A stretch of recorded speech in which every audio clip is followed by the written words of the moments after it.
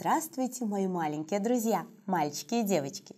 Я Леся Гайдук, ведущая детских праздников. И сегодня я вам прочту новую сказочную историю, которая называется «Коза Дереза».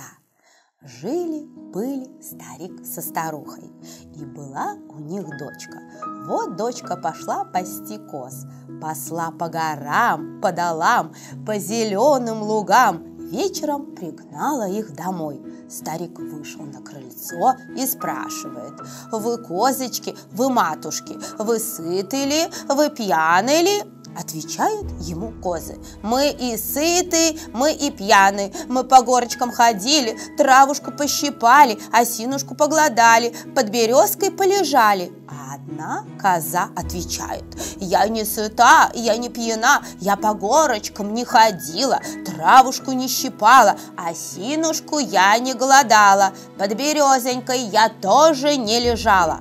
А как бежала через мосточек, ухватила только кленовый листочек. Да как бежала через гребельку, ухватила только воды капельку. Рассердился старик на дочь и прогнал ее с глаз долой. На другой день послал пасти старуху. Старуха посла коз по горам, по долам, по зеленым лугам. Поздно вечером пригнала их домой. Вышел старик на крыльцо. «Вы козочки, вы матушки, вы сыты ли, вы пьяны ли?» Козы ему отвечают. Мы и сыты, мы и пьяны, мы по горочкам ходили, травушку, муравушку щипали, осинушку гладали, под березонькой полежали. А одна коза все свое. Я не сыта, я не пьяна, по горочкам я не ходила, травушку не щипала, осинушку не гладала, под березонькой я не лежала, а как бежала через мосточек, ухватила кленовый листочек, да как бежала через гребельку, ухватила только воды капельку. Пуще прежнего рассердился старик, прогнал старуху с глаз долой. На третий день сам пошел пасти коз.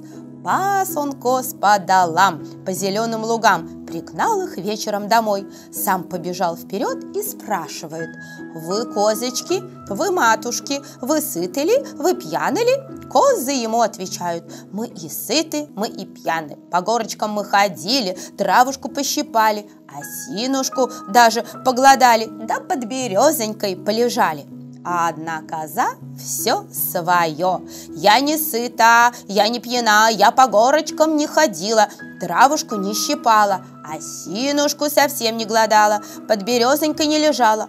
А как бежала через мосточек, ухватила только кленовый листочек. А как бежала через гребельку, ухватила только воды капельку. Старик поймал эту козу, привязал ее, да давай бить. Бил, бил, бил, бил, половину бока отбил. И пошел нож точить. Коза видит, дело плохо. Оторвалась и убежала. Бежала, бежала, прибежала в зайчью избушку. Завалилась на печку и лежит. Приходит зайка.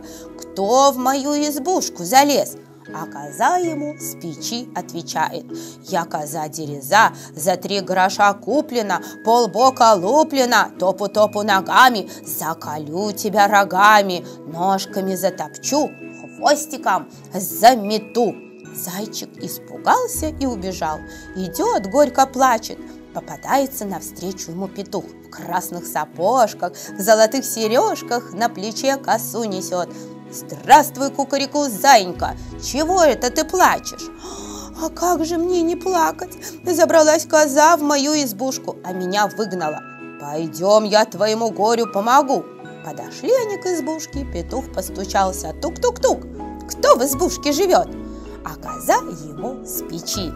Я коза дереза, за три гроша куплена, полбока луплена, топу-топу ногами, заколю тебя рогами, ножками затопчу, хвостиком замету.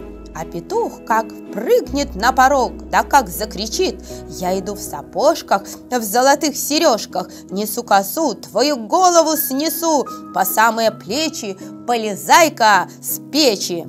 Коза испугалась, да со страху упала с печи и убилась, а зайка с петушком стали в избушке жить, добыть и рыбку даже ловить. Ну что, мои маленькие друзья, надеюсь, эта сказочная история вам понравилась. Ну а если так, садитесь поудобнее, будем смотреть мультфильм. А я с вами прощаюсь до завтра. Всего доброго, до свидания, спокойной ночи, мои маленькие друзья. Cả